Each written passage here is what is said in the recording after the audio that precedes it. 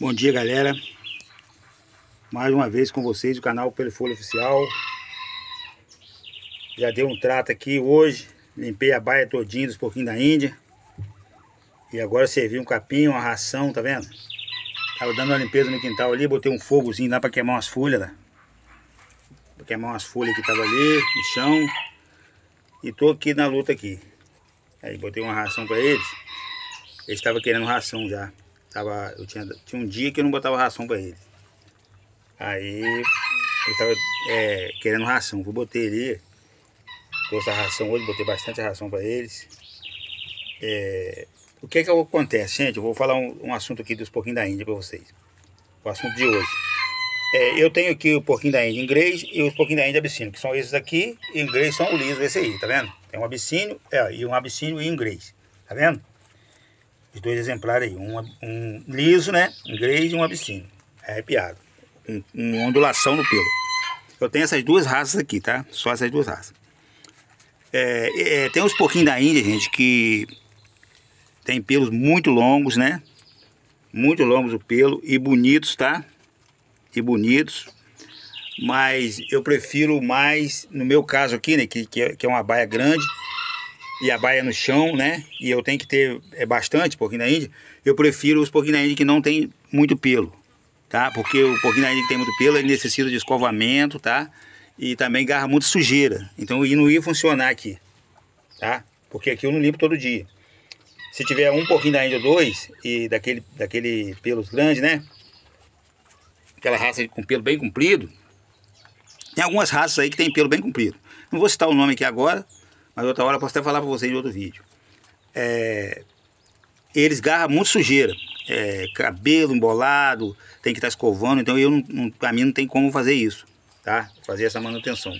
Porque todo o trabalho que eu faço aqui eu faço sozinho, tá?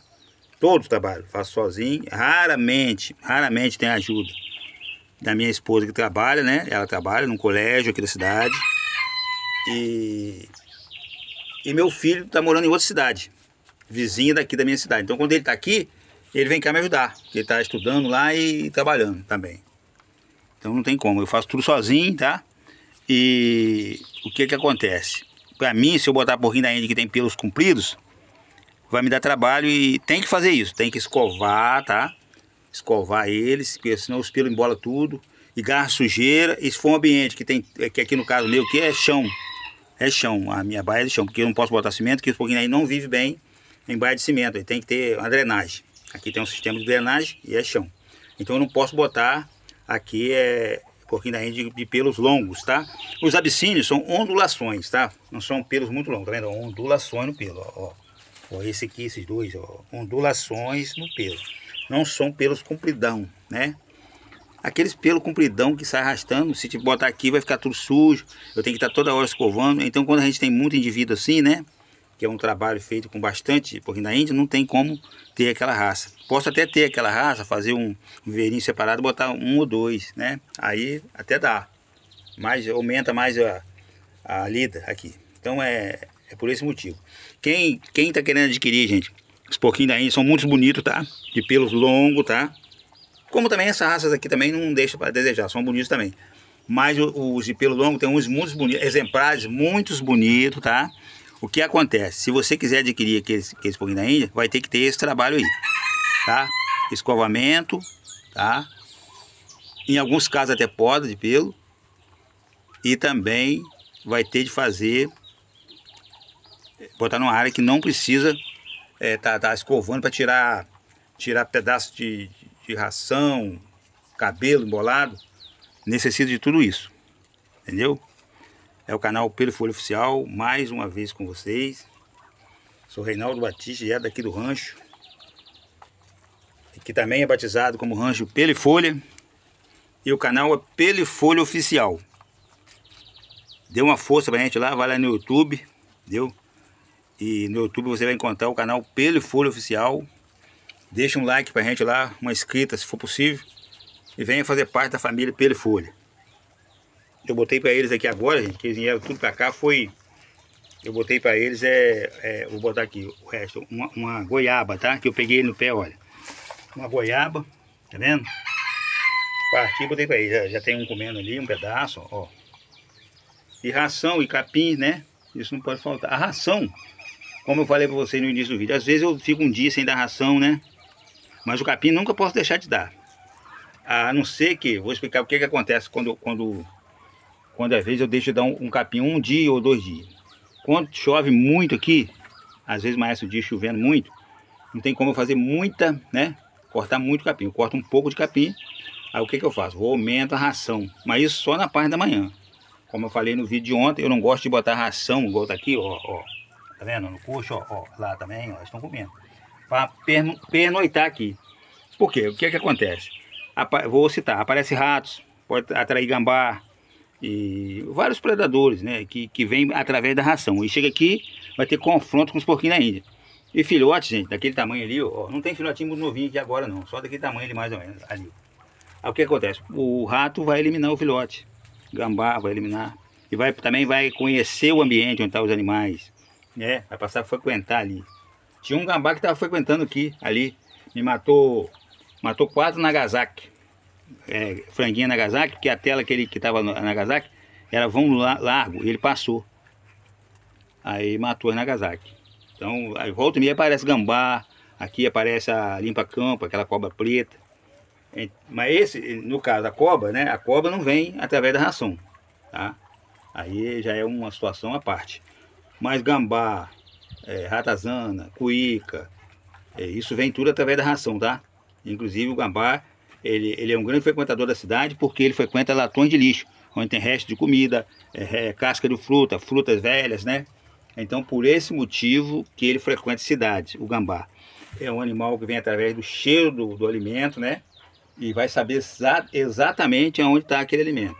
Então, por esse motivo que não se deve deixar assim.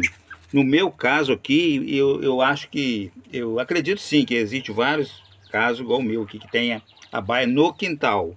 Quando a gente tem uma quantidade de porquinho da Índia muito grande, não tem como você ter uma baia dentro de casa, né, na parte fechada. Então, ou se for uma parte toda fechada, entijolada, fechada com portas, tudo bem. Aí pode deixar a ração pernoitar. Mas nesse caso aqui, meu, não posso deixar a ração penal, que é a área do quintal. Então, são frequentadas esses animais aí, entendeu? Então, por esse motivo que não, eu não deixo pernoitar a ração no coxo e também aconselho a quem tem desse tipo a criação que não deixe também, tá? É o canal Pelo Folha Oficial, mais uma vez com vocês. Eu sou Reinaldo Batista, aqui da cidade de São Fidélis, uma cidade aqui no interior do Rio de Janeiro. E o canal é Pelo e Folha Oficial. Pesquisa lá no YouTube, canal Pelo e Folha Oficial. E dá uma inscrita pra gente lá, tá? Se for possível. Deixa aquele like maneiro. A gente tá sempre trazendo um conteúdo bacana aí para vocês. Espero que vocês possam gostar do nosso conteúdo. E quem já segue o canal Pelo Folha Oficial, um abraço a todos, tá?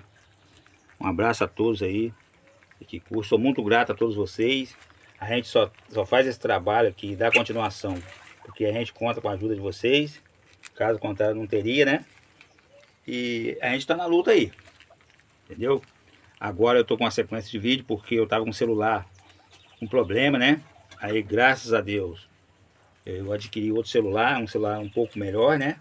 E agora vai tá, ter, ter como estar tá trazendo os vídeos todos os dias, né? Ou até um dia sim, um dia não, que às vezes pode acontecer.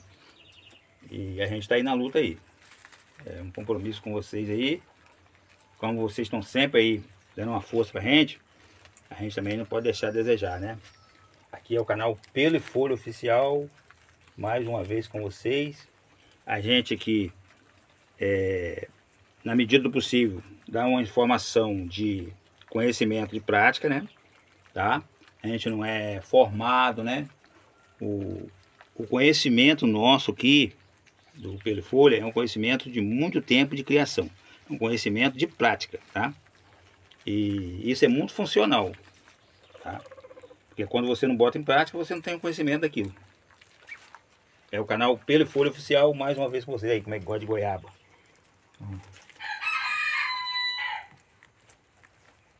A abissínia. Uma lisa e uma abissínia, que eu acabei de falar aqui agora.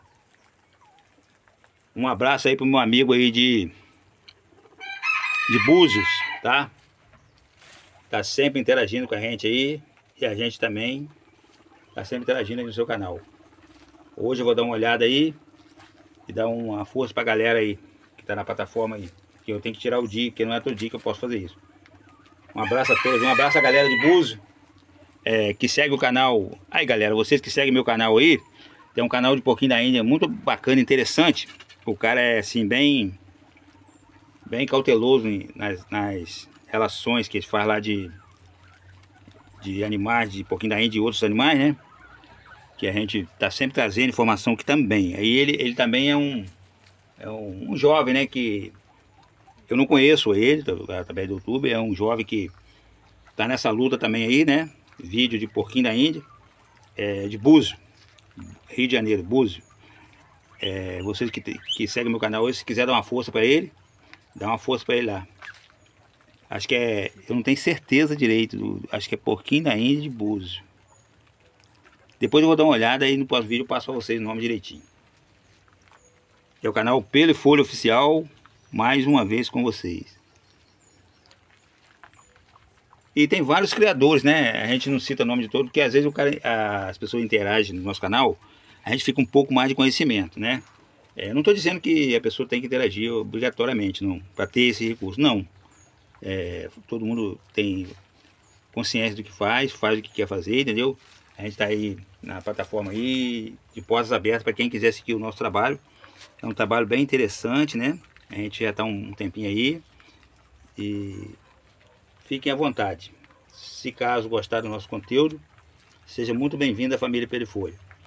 Um, um, conhecimento a mais nunca é, é, nunca pesa, né?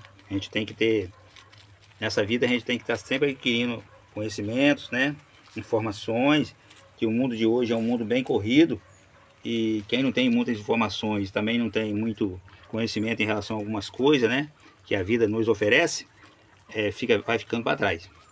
Um abraço a todos, a galera de Alagoas, meus parceiros das antigas aí, o Sidão, o Madeira, o Garoto Yuri, o senhor do canal Asa Branca, o senhor Manuel Cavalcante, o canal bombado aí, canal de receita, de culinária, o Ed, do canal do Ed. Valeu, galera. Tamo junto. Fiquem todos com Deus. Até o próximo vídeo, se Deus quiser.